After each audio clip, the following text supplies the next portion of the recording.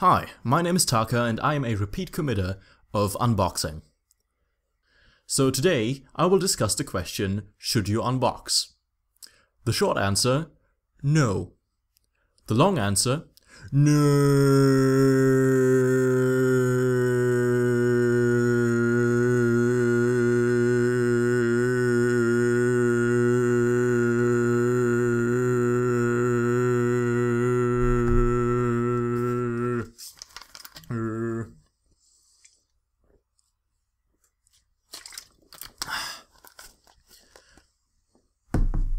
Ooh.